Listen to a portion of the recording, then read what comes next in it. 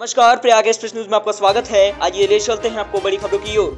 शाहपुर थाना अंतर्गत खटकरी चौकी को बड़ी सफलता मिली, जिसमें 1080 सीसी नस्ली कॉरेक्स सहित एक सियाज गाड़ी पुलिस ने की जब्त। आपको बता दें, रीवा ज़िले की पुलिस ने इन दिनों नशे के खिलाफ एक अभियान सा चला रखा है, जिसके चलते हर दूसरे या तीसरे दिन कॉरेक्स की एक बड़ी खेप पुलिस के हाथ लग रही है।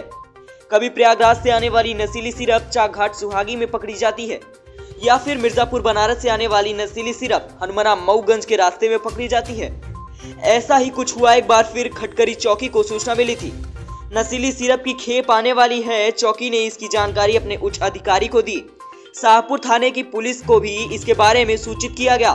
खटकरी पुलिस जब मौके पर पहुँची तो वहाँ पर एक सियाज गाड़ी उनको मिली।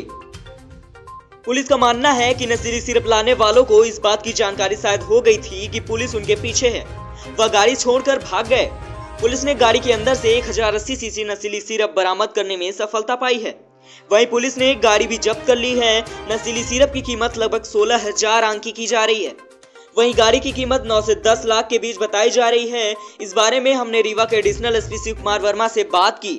सुनिए पूरे मामले को लेकर उन्होंने क्या कुछ जानकारी दी है। प्रयाग एक्सप्रेस न्यूज़ के लिए रीवा से रोहित पाटिल की खास रिपोर्ट। आपकी खबर, हमारी नज़र?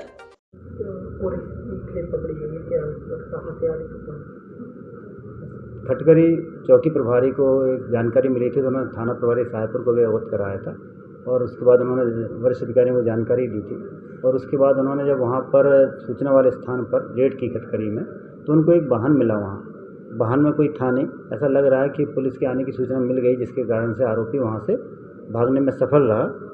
पुलिस को उस गाड़ी की तलाशी में दस सौ अस्सी सी सी कॉरेक्स मिली है। नौ पेटियों में थी, जिसकी कीमत करीब एक लाख बासठ हज़ार के आसपास है। और वो जो वाहन में मिला, वो सियाज कार है मारुति का।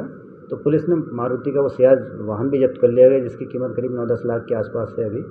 आरोपी के बारे में पतासाजी लगी है पुलिस को, जिसमें आरोपी का नाम पिंटू और सौरभ गुप्ता आया है। पुलिस अभी उसकी पतासाजी कर रही है, प्रकरण पंजीबद्ध कर लिया गया है।